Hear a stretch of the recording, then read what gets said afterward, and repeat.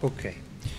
E questi sistemi hanno diciamo, la funzione, oltre che di assistere il chirurgo, anche di ridurre fortemente le principali fonti di errore. Infatti abbiamo visto come ehm, rispetto a una chirurgia refrattiva LASIK in cui siamo arrivati a un 95% dei pazienti che ha un risultato entro la mezza dioptria, nella chirurgia della cataratta moltissimi chirurghi, moltissimi ottimi chirurghi sono ancora al 60-65%, eh, 60-65% sono entro questa fascia, quindi una fascia leggermente più bassa, mentre solamente pochi chirurghi, cioè un 2%, riescono ad avere nel 90% dei casi questo risultato.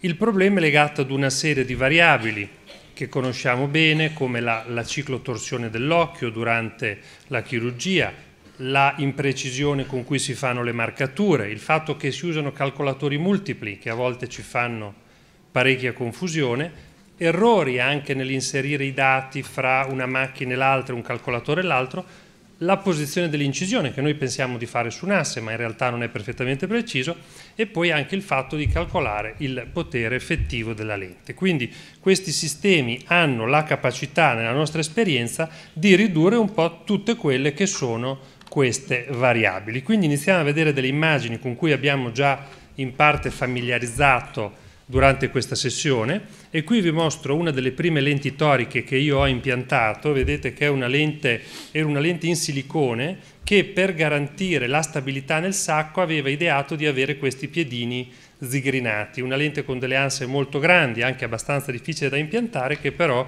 è quella con cui siamo partiti già nel 2006, quindi per dire che le lenti toriche hanno una vita, hanno un'esperienza già molto molto importante ci eravamo resi conto subito come la marcatura fosse una delle parti fondamentali.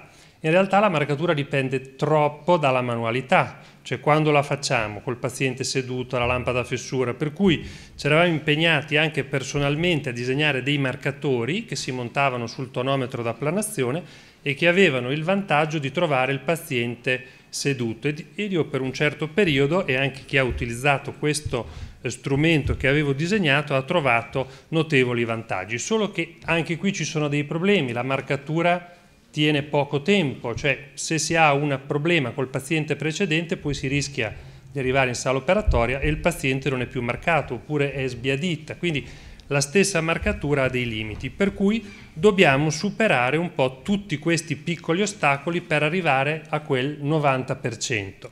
Quindi avere una ghiera, come in questo caso, vedete, che ci dice questa è la tua incisione a 180 o 0 gradi, la devi fare qua, questa ci dà una grande sicurezza. Vedete, alla fine del, dell'impianto avevamo queste marcature che potevano essere anche non perfettamente sul centro geometrico della cornea e invece oggi abbiamo un sistema, che è questo, che è perfettamente sul centro geometrico della cornea, per cui questi problemi passo a passo ovviamente li stiamo superando. Ma qual è la cosa ancora più interessante? Che possiamo anche verificare nel tempo se abbiamo fatto bene, cioè io ho posizionato la mia lente e voglio andare a vedere dopo un mese se la lente è rimasta in quella posizione, per cui riporto il paziente in sala operatoria, reinserisco nel mio computer il nome del paziente, lui mi dice avevi impiantato a 116, hai un'immagine, dopo un mese vedo se è ancora a 116, quindi posso notare anche quelle piccole differenze che mi giustificano alcune imprecisioni da un punto di vista refrattivo. E questo è quello un po' che vedete quando andate ad utilizzare il computer, l'avete già visto prima, c'è questo overlay di un altro colore che effettivamente aiuta moltissimo il chirurgo. Io ormai questa eh, tecnica la uso un po' per tutte le mie chirurgie, qui vedete per esempio per il posizionamento di una ICL torica, quindi per correzione di miopia eh, elevata ed astigmatismo. Il ehm, vantaggio quindi di avere questa tecnologia si deve poi tradurre eh, secondo me un, oltre che in un risultato anche in un risparmio di tempo, in una reale utilità, perché poi sono strumenti che costano, bisogna addestrare chi li utilizza, bisogna avere anche uno spazio nel nostro studio dove metterlo. Per cui tutte queste verifiche ovviamente devono determinare una miglioria in quello che è il nostro risultato. Intraoperatoriamente non si discute, abbiamo visto prima, qui posizioniamo l'incisione, qui la paracentesi, la ressi viene fatta seguendo questa sovrapposizione che può essere di 5, 5, 2, 5, 5, cioè la possiamo customizzare, così come il posizionamento della lente ci risparmia ovviamente da moltissime sorprese. Allora io dico finisce qui, cioè preparazione e intra, no, il bello secondo me viene nel post operatorio, perché con questi strumenti siamo anche in grado di fare un check su quello che è andato bene e su quello che non è andato bene, cioè risalire subito a quello che può essere il piccolo errore. Qui vedete questo è un paziente in cui abbiamo corretto con una IOL una, un cilindro, un astigmatismo di 2.71, quindi una cataratta più astigmatismo. Tutti i dati sono presi correttamente, si programma secondo questo calcolatore una lente che corregge tutto l'astigmatismo ma lascia circa 1,50 di miopia, si va a riacquisire nel post operatorio la stessa immagine ovviamente si rifà il calcolo con lo stesso sistema, io sono in grado già di dire quanto astigmatismo determinato con la mia incisione, quanto questo paziente ovviamente ha recuperato con questo meno 1,50 e se, e se tutto è stato fatto nel modo corretto. E qui tutto coincide, quindi refrazione post-operatoria, astigmatismo indotto e risultato finale.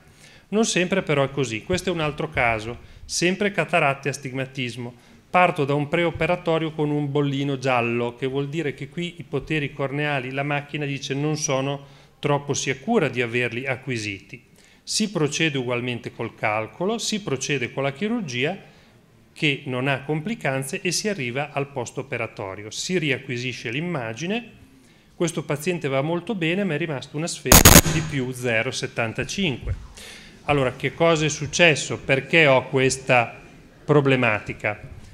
Con, con questa semplice immagine ho già tre livelli di controllo, cioè il mio astigmatismo indotto era realmente quello che io programmo e con questa macchina lo calcolo.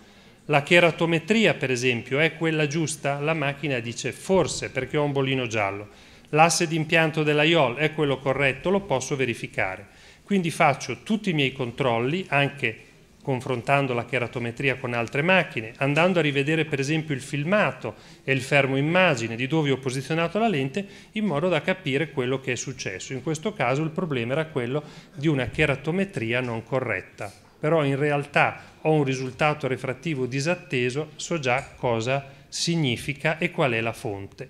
Ultimo esempio che vi mostro è un paziente con cheratocono operato di cheratoplastica lamellare al quale dopo qualche anno, vedete nel 2015 è insorta una cataratta, per cui due decimi naturali 3-4 con un cilindro di meno 6. Si programma un intervento di cataratta con una lente che possa correggere questo astigmatismo. Siamo consapevoli che nella post-chirurgia della cornea l'astigmatismo è con una componente anche irregolare. Vedete, la macchina non è assolutamente in grado di calcolare l'astigmatismo e di prendere i K perché è troppo irregolare però detiene l'immagine dell'occhio e questo è quello che io voglio in questo momento, cioè ho l'immagine, i vasi sclerali, l'iride meno interessante e il limbus. I K me li vado a prendere mio, con la mia immagine del tomografo e quindi me li prendo da qua. L'asse dell'astigmatismo me lo prendo dal tomografo, però lo vado a inserire nel mio programma. Quindi questa sarebbe la refrazione, questa qua sotto, meno 0,10 meno 1,50 se impianto questa lente calcolata, una lente torica con correzione sul piatto di 6 diottrie. Effettuiamo la nostra chirurgia, qui cosa sarà fondamentale? Sarà fondamentale avere l'asse di impianto. Se sbaglio anche l'asse di impianto insieme a tutte le altre variabili, la cheratometria, la quantità di astigmatismo, ovviamente la correzione sarà sempre meno precisa. E invece questo è un parametro che a me serve molto vado a ricontrollare anche le cheratometrie post-operatorie, tutto va bene e vedete questo è il risultato finale, 3-4 decimi naturali e 8 decimi con meno 0,50 meno 2,50, quindi una buona aderenza a quello che doveva essere il risultato previsto, considerando sempre la quantità di componenti irregolari. Questo per dire come i sistemi ci possono effettivamente aiutare in tutte le chirurgie che noi facciamo, ma soprattutto possono migliorare la precisione di tutte le nostre scelte, anche della costante della lente. Sapete che le ditte forniscono delle costanti che sono di massima, ma il chirurgo le può personalizzare. Mettendo nella macchina 20 refrazioni post-operatorie di 20 chirurgie, uno inizia a avere la personalizzazione per ciascuna lente di quella costante. Per cui direi la strada è sicuramente questa, per standardizzare e rientrare in quel 90-100% di casi in cui siamo più o meno 0,50 di quello che è il risultato eh, finale che vogliamo ottenere. Per concludere io vi dico che tutte queste problematiche le affronteremo quest'anno a Rimini per il ventesimo congresso dell'AICER 9-11 marzo che ha proprio dei focus ovviamente su tutta la chirurgia pseudo-robotizzata della cataratta. Quindi non ci sono dei robot, ma ci sono delle macchine che ci consigliano cosa fare e come meglio farlo. Grazie.